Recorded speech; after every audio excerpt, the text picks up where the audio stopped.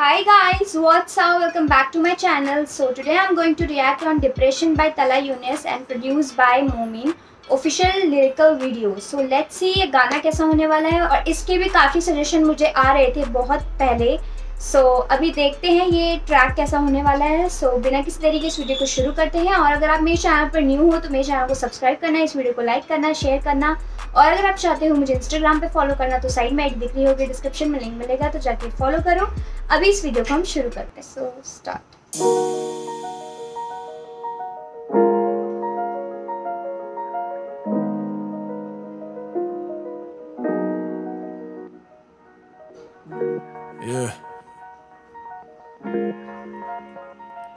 in the house.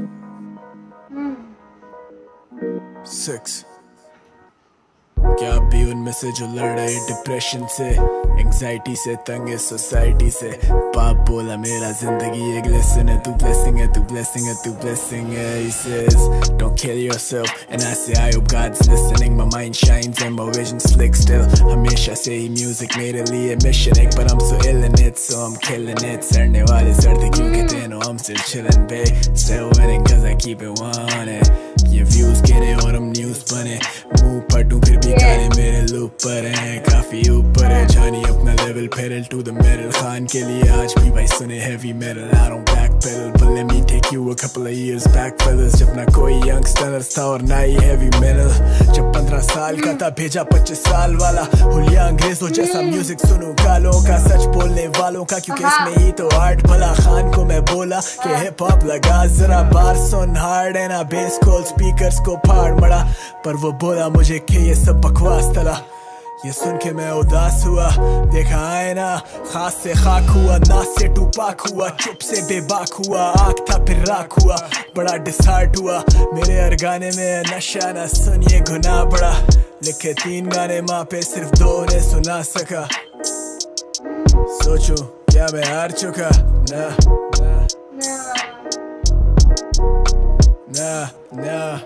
खुली किताब आज तो पढ़ता वो पन्ने, जिन पन्नों तक आज तक कोई पहुँचा ही नहीं। लिखता रहा मैं दुनिया पे, पर आज तक किसी ने मेरे बारे पूछा ही नहीं। फिर भी देख तेरा भाई आज भी टूटा नहीं। फैंस फैम बने हुए मेरे साथ बड़े। They know I'm hot headed तभी पेपर बहुत बने, बहुत बड़े।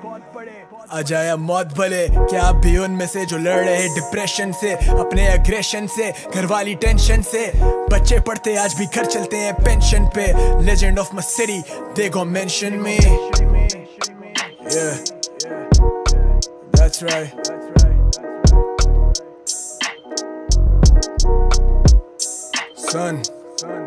सिर्फ़ गीत नहीं तखलीक छोटे। मैं पढ़ा लिखा हूँ तो बैठ नीचे सीख छोटे। बेशक खींच डोडे चाहते लिखना डीप जैसे टीवाई ऑन द बीट पर कोई मेरे जैसा नहीं तो क्यों इतनी तस्दीक छोटे? मैं पहला बंदा जो लाया अंजुम को बीट पे। They told the boy broke the boy पर हम ढीठ थे। आज भी खाए मुझ उम्मीद पे। मैं लिखूं सच दुनिया बोले के मैं वीट पे। लोग कहते कैसे कर लेते आप टीच में? out yeah, they wanna reach me. Rap या वो पल जिसके बोए मैंने बीच इज़्ज़त से बढ़ के नहीं कुछ पैसा, क्या चीज़ पे याद कर, ज़ोर डाल, छोटे याद कर। मैं सोलह साल का गाने जुबानी याद पर। जिसको सुनाना था, वो छोड़ गई साथ जब। किसको सुनाता, क्यों मैं गुनगुनाता, सोचूं ये मैं आज तक। किससे करूँ बात अब? क्यों नहीं याद रहते? ख्वाब जागूं सारी सारी रात। तेरी याद में मैं गिन रहा तारे क्या वो आप? देखो जीरा अपना ख्वाब, मैं दिल से लिखूं गाने तभी दुनिया आज भी दाद दे। मेरी ज़िंदगी कहानी कह चुका था, पर ना मानी कौन सी खामी। हम तो कहते, भाई कमजोरियाँ छुपा नहीं, तू खुदा नहीं। तू खुदा नहीं शहर अनजान था मैं वहाँ में मानता भटकता कैसे जबर रास्ता मुझे जानता? तजुर्बा इतना आज भी हाथ नहीं कांपता। माना तू बड़ा दोगला सिक्का पाँच का। पर मैं तेरे जैसा नहीं मैं नहीं उड़ा रहा बाप का पैसा। भाई जब घर छोड़ा सा छोड़ा लेना पैसा भी। अब बनना मेरे जैसा भाई मैं जैसा भी। लोग आज भी ढूंढे मेरी रेसिपी मास्टर पी या master T let my word play don't come after me. Okay so ये ट्रैक बहुत ज़्यादा फील हो रहा था और जो जिस तरीके से तला यूनिस ने एक लिरिक्स बना के चीज़ें बताई है ना लिटरली ऐसा कोई नहीं होगा जिसको फील ना हो। डिप्रेशन ऐसी चीज़ है कि यार लाइफ में मोस्टली लोगों के साथ होता ही है। और एग्जैक्टली exactly ऐसी ही चीज़ें और ऐसी ही फील जो बीच बीच में दर्द छुपा था तला यूनिस के लिरिक्स में वो चीज़ दिख रहा था। और बीच में उन्होंने मोटिवेट भी किया हमको कि यार ऐसा मतलब होता है सबके साथ, लेकिन मैंने फिर भी मैं फेस किया उस चीज़ को। और उस चीज़ को सोचता हूँ, आज भी तो दुख होता है। लिटरली बहुत ज़्यादा टचिंग था ये ट्रैक और मुझे एक एक लाइन इतनी बढ़िया लगी ना इस ट्रैक की। और ये टॉपिक ये जो टॉपिक था डिप्रेशन वो चीज़ बहुत लोगों के साथ होती हैं। तो इसलिए भी लोगों को ये ट्रैक बहुत ज़्यादा रिलेट करेगा। तला यूनिस ने भी बताया कि मैंने खान को आ, अपना आई थिंक ट्रैक सुनाया तो उसने बोला, ये सब बकवास है और मैं उदास हुआ, मैं खाक से खाक हुआ। यार, बहुत दुख होता है ऐसा जब हम कुछ करना चाह रहे होते हैं अपनी लाइफ में और अगर हम किसी को सुनाते हैं या किसी किसी चीज़ को, किसी को बताते हैं तो वो अगर थोड़ा सा भी कुछ बकवास या कुछ भी बोल देना तो उसके बाद बंदा इतना डिमोटिवेट हो जाता है और इतना ज़्यादा बुरा लगता है उसे कि यार, बस। मेरे हिसाब से तो किसी को भी ऐसा नहीं करना चाहिए। अगर किसी का मन है किसी चीज़ में और उसमें थोड़ी बहुत भी कमियाँ हैं तो उसको आ, मैं ये नहीं कह रही कि बड़ा चढ़ाकर अच्छा बोलो। मैं बस ये कहूँगी कि उसको थोड़ी हिम्मत दो ताकि वो और आगे बढ़े और उसे बोलो कि बहुत अच्छा काम कर रहा है तू और कर। कमियाँ हर किसी के अंदर निकलती है स्टार्टिंग में। धीरे धीरे हर कोई उभर के आता है। तला यूनिस ही ले लो।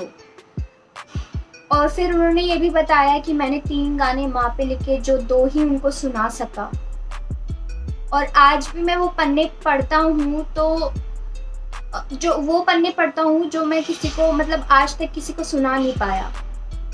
बहुत दुख होता है यार, सोच के ही जैसे ये सब चीज़ें, सोच के ही कितना बुरा लगता है। और उन्होंने ये भी कहा कि मैं पहला बंदा था जो अंजुम को बीट पर लेकर आया और ये भी बोला था, they told the boy they broke the boy so तला अंजुम के एक गाने पे भी तला अंजुम ने लिखा था कि दे मतलब लोगों ने उनको काफ़ी ज़्यादा तोड़ दिया था और वो एक पॉइंट तो ऐसा आया था कि वो छोड़ने वाले थे अपना काम और लेकिन फिर भी उन्होंने नहीं छोड़ा और वो लगे रहे। सो ये वाली लाइन तला यूनिस ने भी बोली।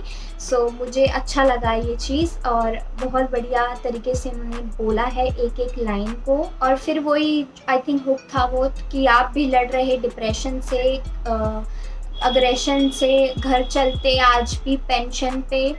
सो so, ऐसा काफ़ी फैमिली में होता है कि जिसके माँ बाप नहीं होते हैं वो उनके बच्चे पेंशन पे चलते हैं और या फिर उनकी मम्मी पापा या फिर उनके कोई भी घर के लोग पेंशन पे चलते हैं और अक्सर ऐसा होता है कि जो पेंशन पे बच्चे पढ़ रहे होते हैं ना, उन्होंने काफ़ी अपनी लाइफ में परेशानियाँ देखी होती हैं, काफ़ी ज़्यादा। और अक्सर वही लोग, वही बच्चे अपनी लाइफ में काफ़ी कुछ बड़ा कर जाते हैं, क्योंकि उन्होंने इतनी परेशानियाँ देखी होती है, जिसके पेरेंट्स स्टार्टिंग से ही नहीं है। उन्हें तो यार ऑब्वियसली कितना, कितनी सारी चीज़ें देखनी पड़ती होगी। और वही बच्चे काफ़ी कुछ कर जाते हैं। मुझे ये ट्रैक बहुत ज़्यादा फील हुआ और एक एक लाइन में सबको फील हुई होगी। सो so, बहुत अच्छा ट्रैक था ये ओवरऑल बहुत प्यारी लिरिक्स यूनिस ने बताई है और बहुत ज़्यादा फील हुआ।